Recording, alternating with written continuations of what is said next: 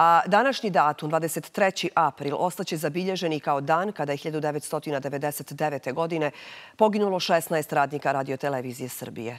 U noći između 22. i 23. aprila u 2 sata i 6 minuta projektili NATO avijacije pogodili su zgradu RTS-a u Aberdarevoj ulici i to je bio prvi slučaj da je medijska kuća proglašena legitimnim vojnim ciljem. Naš Vladimir Mučibabić je ispred zgrade radiotelevizije Srbije i zajedno sa sagovornikom još jednom će nas podsjetiti na ovaj strašan zločin. Vlado, dobro jutro tebi i tvom sagovorniku. Dobro jutro iz Beograda. Kao što ste rekli, nalazimo se ispred zgrade Berdarova gde se desila pre 23 godine ta strašna noć kad su između, u noći između 22. i 23. aprila NATO snage bombardovali zgradu RTS-a. Poginulo je tom prilikom 16 ljudi koji su bili na svom radnom mestu. Bilo je dosta povređenih, e, preko sto je bilo u, toj radnoj smeni, među njima bio i Dragan Žuković, naš sagovornik. Pa, Dragane, kako vi sa te vremenske, ove vremenske distance gledate na sve to što se desilo posle 23 godine i nema odgovora na pitanje zašto? Dobro jutro. Prvo ovaj, vama i, i gledalcima koji gledaju. Pa gledam isto kao i godinu dana posle toga. Znači, apsolutno se ništa spektakularno nije desilo po pitanju toga da se nekoj, nekoj pravdi privede neko, znači, koji je, koji je odgovoran za to. Tako da moje gledište je apsolutno identično kao i pre kao i pre 20 i nešto godina, jer jednostavno to je jedna bolna tačka koju očigledno je bolna i za naše vlasti, a i za NATO. Tako da niko, to je jedan vruć krompir koji niko ne želi da, da, da, da, ovaj, da istera do kraja, aj tako da kažem.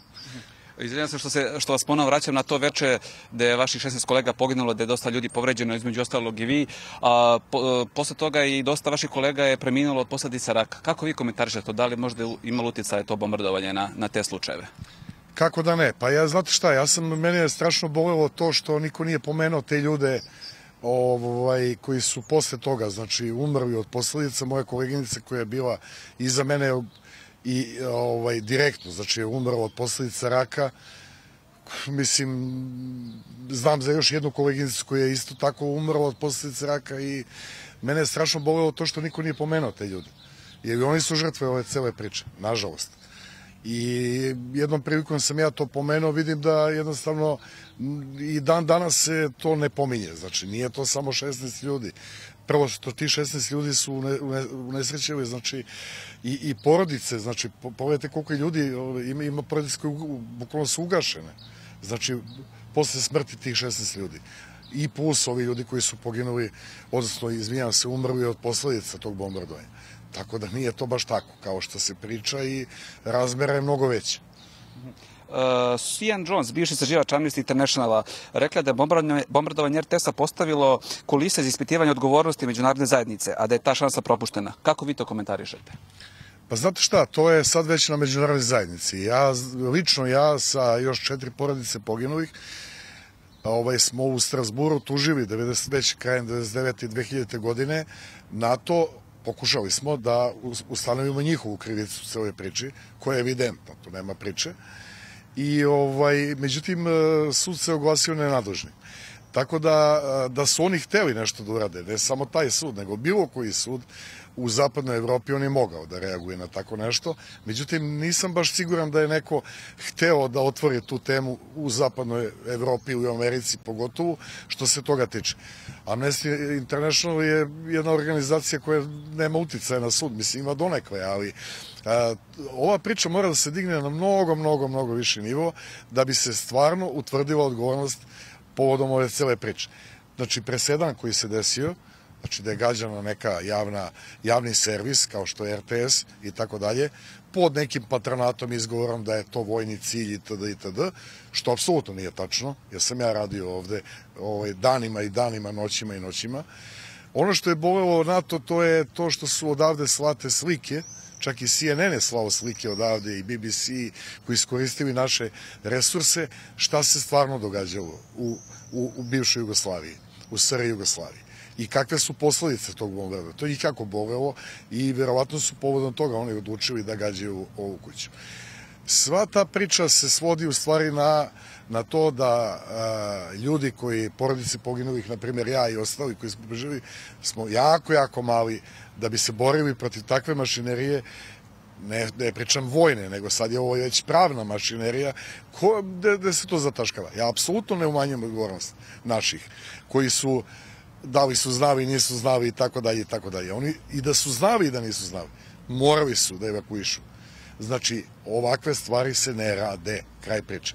Svaki čovek je vredan, svaki život je vredan i to je moje lično stanovište. I gde god možeš da spaseš neki život, moraš da ga spaseš. Ovde su ljudi bukvalno žrtvovani. Tu nema priče. Žrtvovani i sa jedne i sa druge strane.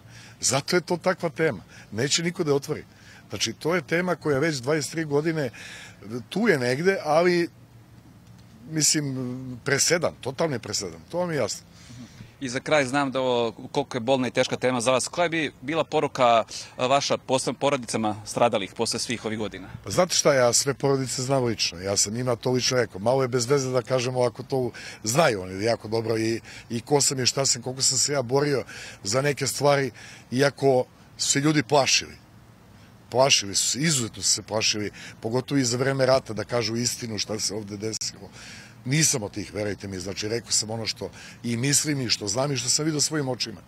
Znači, za, za njih oni znaju poruku. Znači, treba jednostavno, ne sme se zaboraviti.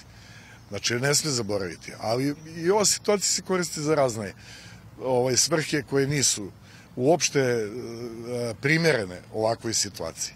Ovde su ljudi poginuli i treba im doći i odati počast. Mi smo to radili godinama, znači na neki svoj način.